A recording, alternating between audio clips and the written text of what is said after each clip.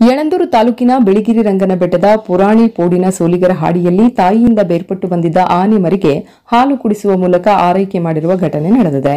ರಂಗನ ಬೆಟ್ಟದ ಅರಣ್ಯ ಪ್ರದೇಶದಲ್ಲಿರುವ ಪುರಾಣಿಪೋಡಿನ ಗಿರಿಜನ ಹಾಡಿಗೆ ಭಾನುವಾರ ತಾಯಿಯಿಂದ ಬೇರ್ಪಟ್ಟ ನಾಲ್ಕು ವರ್ಷದ ಆನೆ ಮರಿ ಆಹಾರವಿಲ್ಲದೆ ನಿಯಂತ್ರಣಗೊಂಡು ಬಂದಿದ್ದು ಗಿರಿಜನರು ಅದನ್ನು ರಕ್ಷಣೆ ಮಾಡಿದ್ದಾರೆ. ನಂತರ ಗಿರಿಜನ ಮುಖಂಡರು ಅರಣ್ಯ ಇಲಾಖೆ ಅಧಿಕಾರಿಗಳಿಗೆ ಮಾಹಿತಿ ನೀಡಿ ಪುರಾಣಿಪೋಡಿಗೆ ಆನೆ ಮರೆಯುವ ಒಂದು ತಪ್ಪಿಸಿಕೊಂಡು ಬಂದಿದ್ದು, ನಿಯಂತ್ರಣಗೊಂಡಿದ್ದು ಇವಾಗ ಚೇತರಿಕೆ ಕಂಡಿದೆ ಎಂದು ಮಾಹಿತಿ ನೀಡಿದ್ದಾರೆ. ನಂತರ ಅರಣ್ಯ ಇಲಾಖೆ ಅಧಿಕಾರಿಗಳು ಸಿಬ್ಬಂದಿ ಪುನೀತ್ ವಿಠಲ್ ಹಾಗೂ ವನ್ಯಜೀವಿ ಮಂಡಳಿ ಸದಸ್ಯ ಮಲ್ಲೇಶ್ ಸ್ಥಳಕ್ಕೆ ಭೇಟಿ ನೀಡಿ ಆನೆ ಮರಿಯನ್ನು ಪರಿಶೀಲಿಸಿ, ಇಲಾಖೆ ವಾಹನದಲ್ಲಿ ಆನೆ ಮರಿಯನ್ನು ತೆಗೆದುಕೊಂಡು ಹೋಗಿ ಮತ್ತೆ ಕಾಡಿಗೆ ಬಿಟ್ಟಿದ್ದಾರೆ. S Puttaswamy Honnur TV Kannada, Yelandur.